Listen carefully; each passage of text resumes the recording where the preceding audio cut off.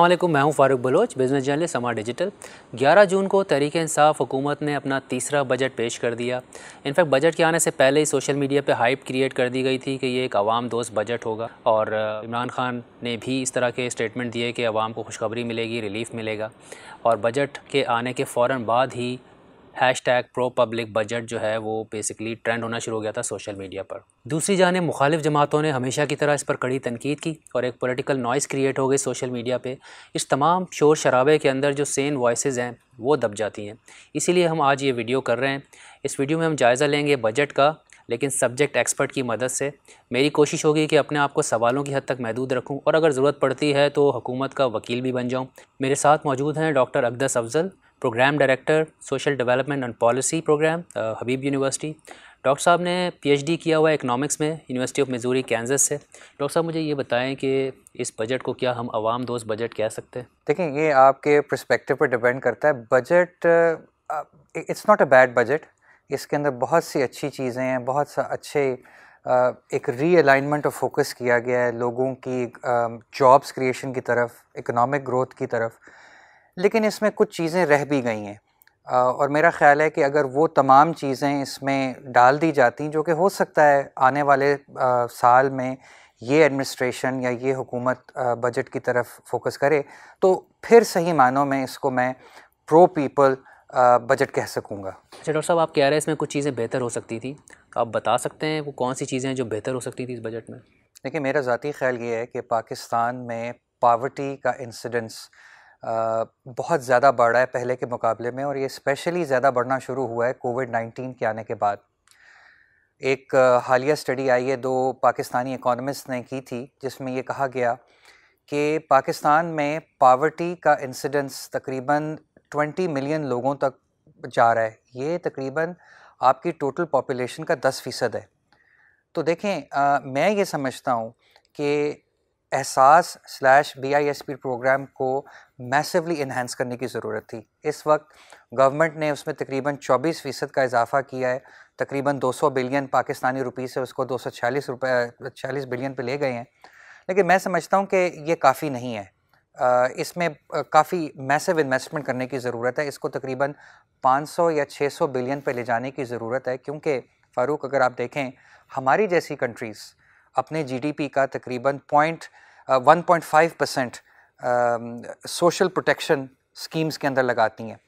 Uh, अभी जो जिस किस्म का हमारा सिचुएशन चल रहा है अभी हम सिर्फ़ पॉइंट फोर या पॉइंट फाइव परसेंट लगा रहे हैं। तो मेरा ख्याल है कि क्योंकि ये इतना बड़ा प्रॉब्लम है पावर्टी uh, का इंक्रीज़ करना पावर्टी गुर्बत में इजाफ़ा होना और मज़ीद लोगों का ख़त गुर्बत के नीचे धकेले जाना तो मैं समझता हूँ कि इसमें बहुत ज़्यादा रूम था इम्प्रूवमेंट का हुकूमत के लिए। सर, आप रूम की तो बात कर रहे हैं, लेकिन अगर आप हुकूमत के वसाइल देखें तो पैंतीस फ़ीसद तो आपके कर्ज़ों के दाइयों में जा रहा है, पंद्रह फ़ीसद दिफा में जा रहा है, फिर पाँच फ़ीसद जो है हुकूमत के अपने जो रनिंग एक्सपेंस है और इतना ही तकरीबन पेंशन में भी जा रहा है, चौदह फ़ीसद सूबों को दिया जा रहा है, अब ले दे के दस फ़ीसद बचता है, उसमें कहाँ से स्पेस निकालेगी हुकूमत?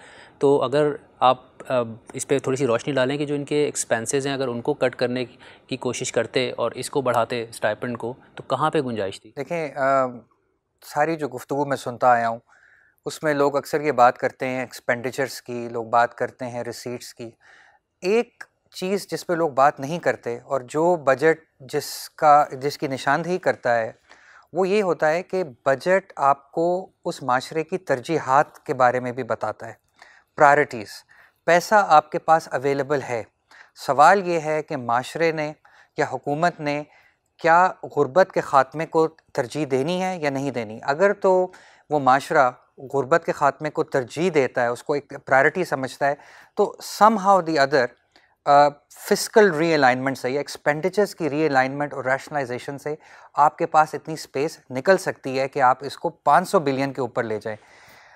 एक इंटरेस्टिंग प्रपोज़ल आने वाले दिनों में ये हो सकता था कि आप ये देखें कि हमारा जो टोटल पेंशन आउटले है पाकिस्तान में, ये तकरीबन 480 बिलियन रुपए है। ये उस अमाउंट से भी ज़्यादा है जो कि हमारी हुकूमत को चाहिए तमाम कार्य सरकार चलाने के लिए। तो आप ये देख सकते हैं कि आने वाले दिनों में पेंशन्स किस तरह से बढ़ती चली जाएँगी।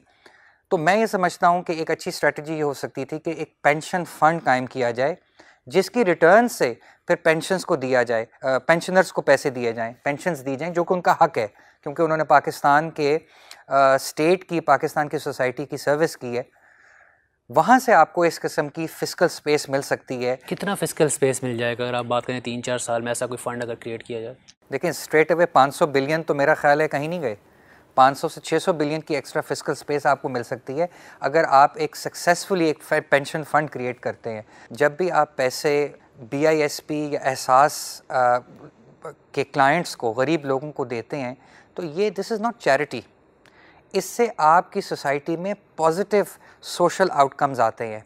आपकी सोसाइटी में मेल न्यूट्रिशन कम होती है, आपकी सोसाइटी में पावर्टी कम होती है, आपकी सोसाइटी में सेहत बेहतर होती है। और इसके ओवरऑल पॉजिटिव आउटकम्स होंगे आपकी इकोनॉमी के लिए, अगर आपकी लेबर फोर्स पास खाना अच्छा है और उनकी सेहत बेहतर है। सेकंड पॉइंट सेकंड पॉइंट ये इसलिए ज़रूरी है कि ये सिर्फ़ खैरात नहीं है। जब आप इतना से फॉर एग्ज़ाम्पल कि आप 250 बिलियन रुपए extra B I S P slash Ehsaas के अंदर डालते हैं तो ये एक तरह का फ़िज़िकल स्टिमुलस है। बिकॉज़ जब भी आप लोगों को गरीब लोगों को ये पैसे देंगे तो वो उस उनको स्पेंड करेंगे वो एक्सपेंडिचर में लाएँगे तो ये वापस इकोनॉमी के अंदर आएगा। तो मैंने कुछ इसके ऊपर कैलकुलेशंस की थी और मैंने ये देखा कि अगर पाकिस्तान गवर्नमेंट 250 अरब रुपया एक्स्ट्रा डालती है आ, क्या कहना चाहिए इकोनॉमी के अंदर जैसे कि बी आई एस पी या एहसास प्रोग्राम तो ओवर टू ईयर्स ये एक्स्ट्रा 180 अरब रुपए बनते हैं in terms of the multiplier effect यानी कि ये इसका एक इन्हेंस्ड इफ़ेक्ट होगा। तो मैं यही समझता हूँ कि at the end of the day जो भी हुकूमत एक्सपेंडिचर करती है, उसका ताल्लुक उस माशरे और उस हुकूमत की तरजीहत या प्रायोरिटीज़ से है। अगर आपकी प्रायरिटी गुरबत का ख़ात्मा है तो आपको उसके लिए फ़िज़िकल स्पेस मिल जाएगी। चले यहाँ मैं हुकूमती नुमाइंदा बन के आपसे बात करता तो आपने तरजीहत की बात की क्लियरली नज़र आ रहा है कि तरजीह इस वक्त जो तरजीह है वो ग्रोथ है। तो अल्टरनेटिवली ये भी तो हो सकता है कि जब जीडीपी ग्रो करेगा इन्होंने 4.8 परसेंट का टारगेट रखा है। बाय द वे कोविड के बावजूद माइनस अशारिया चार फ़ीसद से चार फ़ीसद पर आ गए तकरीबन। आई डोंट नो आप इसको इम्प्रेसिव कहेंगे या क्या कहेंगे लेकिन लोग इसकी तारीफ़ कर रहे हैं। हम्म, हम्म। दूसरी तरफ़ इन्होंने टारगेट रखा है फोर पॉइंट एट परसेंट का तो ग्रोथ होती है इकनॉमिक एक्टिविटी पिक करती है। तो ओबियसली एम्प्लॉयमेंट क्रिएट होगी तो वो भी इकोनॉमिक एक्टिविटी की तरफ़ कंट्रीब्यूशन होगा और जब लोगों के पास पैसा आएगा तो लोग मेड्स हायर करेंगे ड्राइवर्स हायर करेंगे, चौकीदार हायर करेंगे। तो एक तरह से आप उनको जो स्टीमरस आपने देना था एहसास के ज़रिए, वो आप जॉब्स की सूरत में भी तो दे सकते हैं। तो आप समझते हैं कि ये जो पॉलिसी है, ये करंट सिनेरियो में ये इतनी वर्क नहीं करेगी जितनी एहसास स्टाइपेंड को बढ़ाने से जो फ़ायदा होता। Farooq that's a fair assessment जब ग्रोथ होती है तो ऑब्वियसली जॉब्स क्रिएट होती हैं और जॉब्स की पाकिस्तान में ज़रूरत है। लेकिन मेरा सवाल ये है कि आप इन द करंट सिचुएशन आप कितनी जॉब्स क्रिएट कर लेंगे? पाकिस्तान में सालाना तकरीबन टू मिलियन जॉब्स की ज़रूरत है। टू मिलियन जॉब्स की ज़रूरत है। तो आप, यानी बीस लाख जॉब्स की ज़रूरत है। आप इतनी जॉब्स मेरा नहीं ख्याल इमीडिएटली शॉर्ट टर्म में क्रिएट कर सकते हैं नंबर वन नंबर टू जब भी ग्रोथ होती है किसी भी सोसाइटी में तो इनवेरेबली वहाँ पे इनक्वालिटी के अंदर इजाफा होता है। तो ये जो आ, ये जो स्टाइपेंड्स आप दे दे रहे हैं लोगों को एहसास और बीआईएसपी प्रोग्राम के तहत ये गुर्बत के लिए भी दे रहे हैं और एक ऐसी सोसाइटी बनाने के लिए भी दे रहे हैं जहाँ पे इनक्वालिटी कम हो।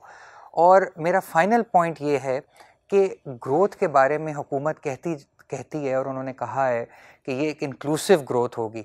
मुझे अभी तक ये एविडेंस नज़र नहीं आया कि उनकी डेफिनेशन क्या है इंक्लूसिव ग्रोथ की और ये कैसे इंक्लूसिव ग्रोथ को कहा जा रहा है। तो इन तमाम पॉइंट्स की बेसिस पे मैं ये कहूँगा कि इस चीज़ पे फोकस करना बहुत ज़रूरी है कि माशरे में मज़ीद गुर्बत का इजाफा ना हो, क्योंकि ये हमारी एक प्रायोरिटी होनी चाहिए। तो सर अगर चले फ़िज़िकल स्पेस को ही बढ़ाने की बात हो रही है ना रिसोर्स एलोकेट एलोकेट करने की तो अगर इस तबके को देना है तो रेवेन्यू भी तो बढ़ाई जा सकती है, वो भी एक तरीका है। तो अगर ग्रोथ होती है जीडीपी की 4.8 परसेंट जैसे फोकस कर रहे हैं तो उससे ज़ाहिर है फिर टैक्स कलेक्शन बढ़ेगी इनकी और अगले साल का टारगेट भी इन्होंने अच्छा बढ़ा रखा है, तकरीबन पाँच हज़ार आठ सौ अरब के करीब जो है टैक्स कलेक्शन का टारगेट रखा है। तो अगर हुकूमत रेवेन्यू बढ़ाती है तो भी तो फ़िज़िकल स्पेस बढ़ेगा और लोगों पर खर्च कर सकते हैं। या आप समझते हैं कि जो रेवेन्यू के टारगेट्स हैं उसमें भी कोई प्रॉब्लम है? देखें रेवेन्यू के टारगेट्स के हवाले से कुछ आवाज़ें आई हैं। आई थिंक रियलिस्टिक पिछले सालों के मुकाबले में ये एक रियलिस्टिक टारगेट लगता है। उसमें इतनी बड़ी जंप नज़र नहीं आ रही बिकॉज़ हमारी बेस थोड़ी सी ऑलरेडी हाई है। लेकिन अगेन देखिए रेवेन्यू तो आपको बताता है ना कि गवर्नमेंट की रिसीट्स कितनी हैं इसके यानी गवर्नमेंट के महसूलत कितने हैं। एक्सपेंडिचर की प्रायोरिटीज़ आपको सिर्फ़ प्रायोरिटीज़ के थ्रू ही पता चल सकती हैं कि भले उनके पास इतना ज़्यादा महसूल आ भी जाती हैं। क्या गवर्नमेंट की ये कमिटमेंट है कि वो बी आई एस पी के एहसास को या पुअर प्रोग्राम्स के लिए उन चीज़ उन उन पैसों को डबल करेगी? तो ये एक प्रायरिटी इशू है। अच्छा सर, इस हुकूमत में जो सबसे एक बड़ा मसला रहा है वो इन्फ्लेशन का रहा है और अभी बात हो रही है गुर्बत की तो ज़ाहिर है इन्फ्लेशन से मिडिल क्लास के साथ साथ गरीबी बहुत बुरी तरह पिसता है और इस हुकूमत ने एडमिट भी किया बाद में जाके कि भाई ठीक है इन्फ्लेशन बहुत ज़्यादा हुई है, हम कोशिश कर रहे हैं। तो ये जो बजट दिया गया है और इसमें अगर हम देखें रेवेन्यू कलेक्शन का जो टारगेट है, उसका 67 परसेंट इनडायरेक्ट टैक्सेस से आ रहा है। और अभी थोड़ी देर पहले ही हम इनक्वालिटी की बात कर रहे थे तो इनडायरेक्ट टैक्सेस को मज़ीद बढ़ाते हैं।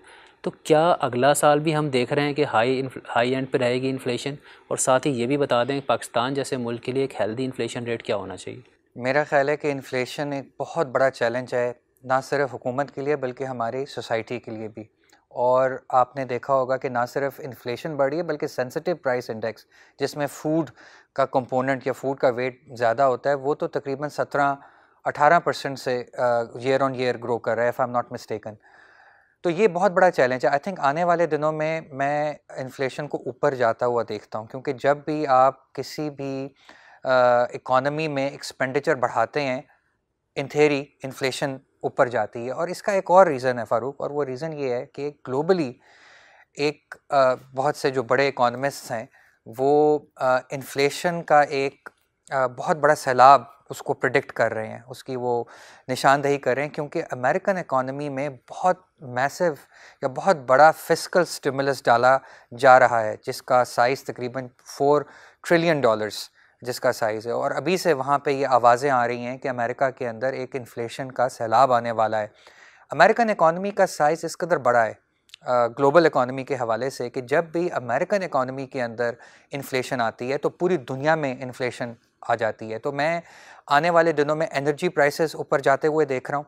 और जब भी एनर्जी प्राइसेस ऊपर जाती हैं तो आपकी बिजली और तेल यानी कि पेट्रोल या डीज़ल ये महँगा होता है और इसका फिर पास थ्रू अफेक्ट होता है बाकी हर चीज़ के अंदर। तो मैं समझता हूँ कि ये बहुत बड़ा चैलेंज होगा हमारी हुकूमत के लिए कि आने वाले दिनों में वो इन्फ्लेशन के साथ कैसे आ, आ, ये, ये मामले को कैसे देखते हैं वो। अच्छा आपने इंटरनेशनल प्राइसेस की बात कर ली और हमें ऑलरेडी नज़र आ रहा है इंटरनेशनल ऑयल प्राइस जो है वो इकहत्तर डॉलर पर बैरल पे वापस आ गए हैं हम्म।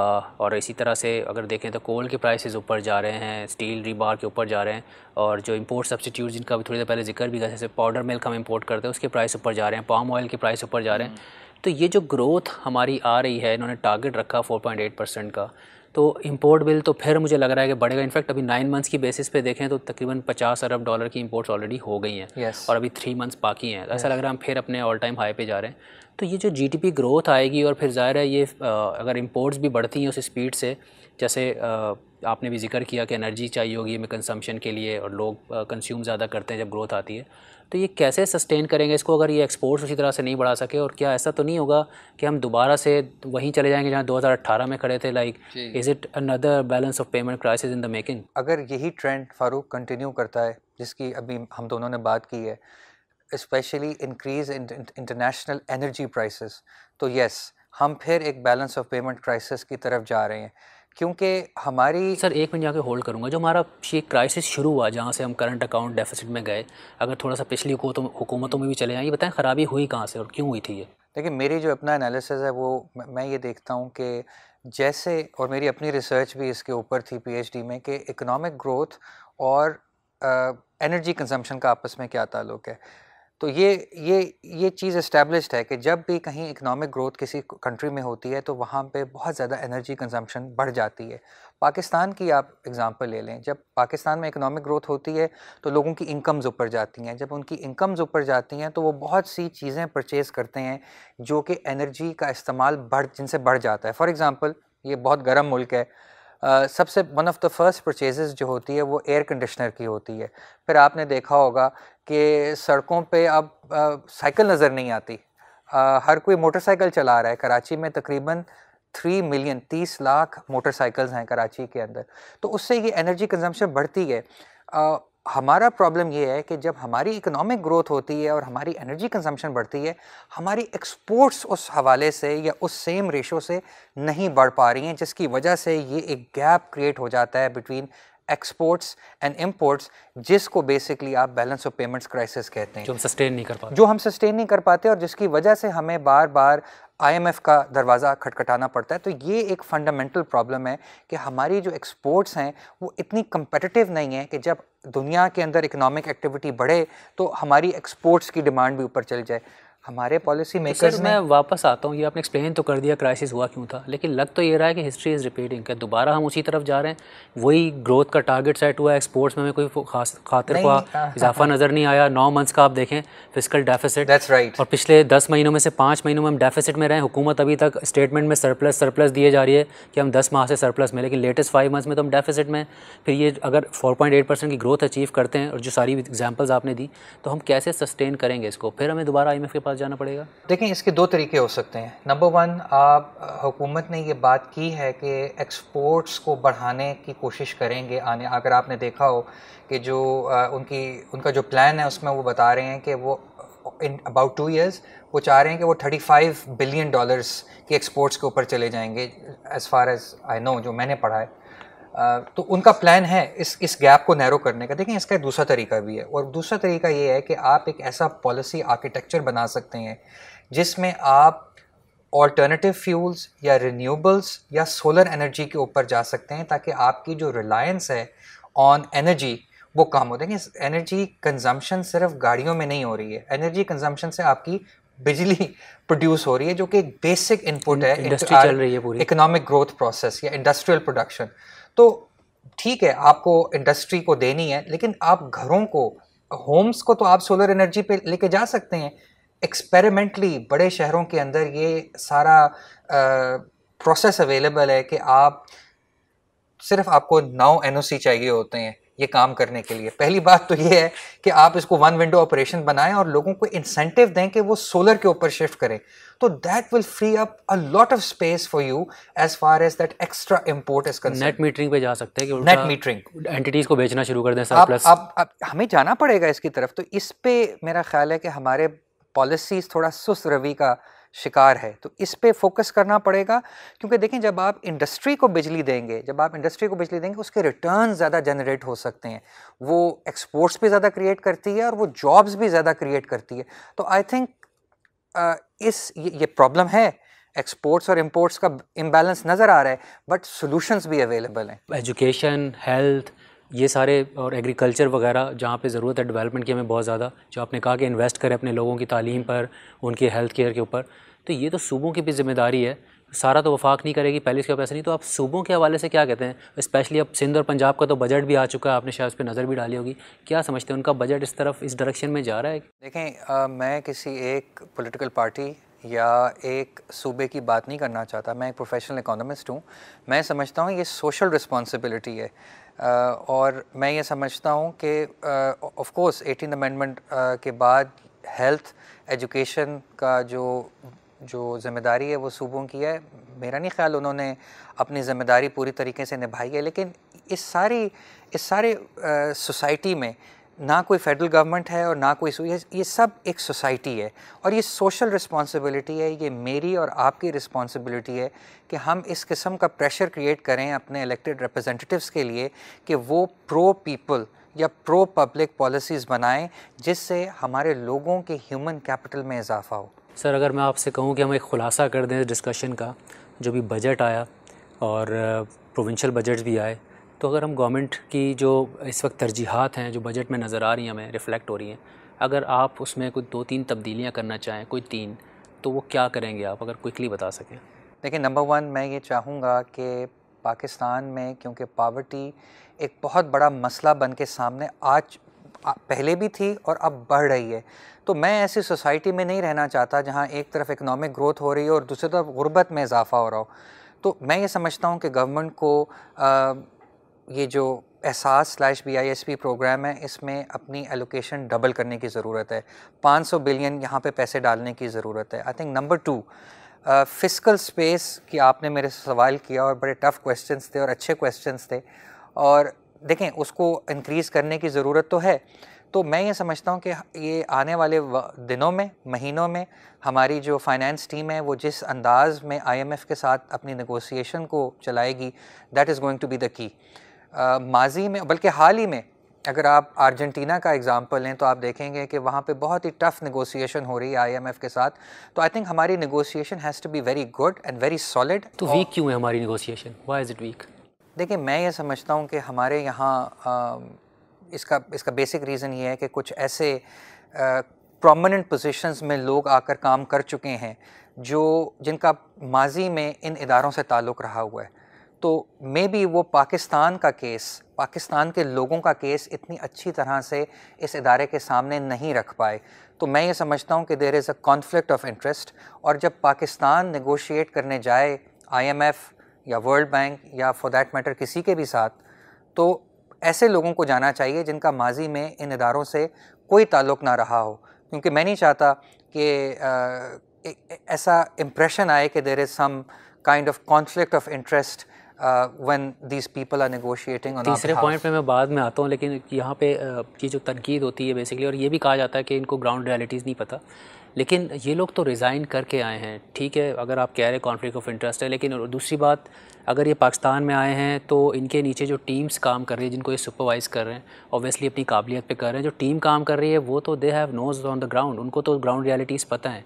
तो अगर आप इससे एग्री करते हैं कि जो बाहर से आ रहा है, उसको पाकिस्तानी मामला का इतना अच्छा नहीं पता, वो इतना अच्छा केस प्रेजेंट नहीं कर सकता। देखिए, मैं ये बात नहीं कर रहा। मैं सिर्फ़ ये बात कर रहा हूँ कि एक चीज़ है कॉन्फ्लिक्ट ऑफ़ इंटरेस्ट और आई थिंक उसको हमेशा मलहूज खाते रखना चाहिए।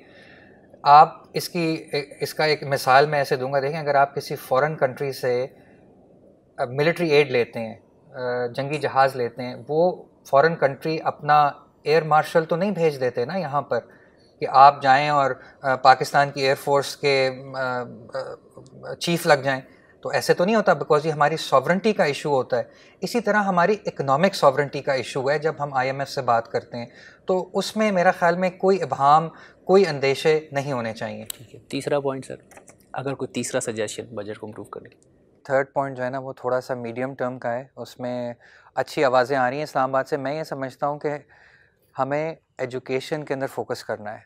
हमें अपने लोगों को पढ़ाना है और हमें उनको क्वालिटी एजुकेशन देनी है, जो, जिसमें हमारे स्टूडेंट्स स्कूल के, जो स्टूडेंट्स हैं वो मैथ और रीडिंग के अंदर दुनिया में Singapore Finland East Asian country से कम्पीट कर सकें।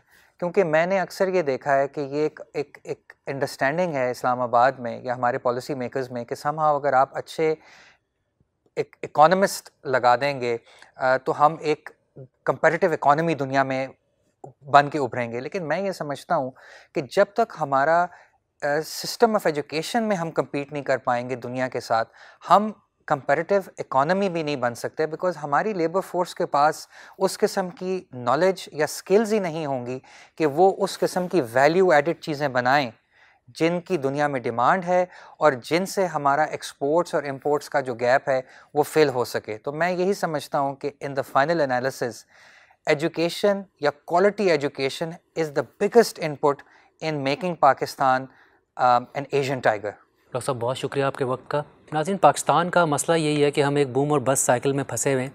यानी पाकिस्तान की तारीख में कोई चार पाँच साल का पीरियड ऐसा नहीं गुजरा जहाँ पे ये पाँच छः परसेंट की ग्रोथ को हम जो है सस्टेन कर सकें। होता यही है कि इकॉनमी हमारी टैंक करती है फिर हम ग्रोथ की तरफ़ जाते हैं और जहाँ पे वो चार पाँच परसेंट पे जाती है तो बेसिकली उसको हम सस्टेन नहीं कर पाते क्योंकि उसी तनासब से हमारी एक्सपोर्ट्स नहीं बढ़ पाती और एक बैलेंस ऑफ़ पेमेंट क्राइसिस जो है वो क्रिएट हो जाता है और हमें आईएमएफ जैसे इदारों के पास जाना पड़ता है। हमारा जो कर्ज़ा है वो बढ़ता चला जाता है और हुकूमत के पास बेसिकली कर्ज़ों की अदायगियों में इतने पैसे खर्च हो जाते हैं कि हुकूमत के पास फ़िज़िकल स्पेस नहीं बचता, पैसे नहीं बचते कि वो आवाम की और मुल्क की तरक्की पर खर्च कर सकें। एक बार फिर से ये दावे किए गए इस बजट में कि ये जो ग्रोथ है ये बेसिकली सस्टेनेबल होगी और पिछली सारी जो ग्रोथ थी उनसे मुख्तलिफ़ होगी। यानी कि जो जिसमें हम सस्टेन नहीं कर पाते थे, ये उससे मुख्तलिफ़ होगी। और साथ में ये भी दावा किया गया है कि इंक्लूसिव ग्रोथ होगी, यानी जो निचला तबका है, उसको भी इसका फ़ायदा होगा। ऐसा होता है यानी ये फ़ैसला हम आप पे छोड़ते हैं। ये ऑब्जर्वेशन आपकी है और अपनी राय हमें कमेंट्स में ज़रूर दीजिएगा। और अगर आपको वीडियो अच्छी लगी और आपको लगता है कि ये आपको बेसिकली इन्फॉर्म कर रही है इकनॉमिक जो हमारे प्रॉब्लम्स उसके हवाले से तो उसको दूसरों के साथ भी शेयर करें। अपना और अपने प्यारों का ख्याल रखिएगा। आपसे जल्द दोबारा मुलाकात होगी। अल्लाह हाफ़िज़।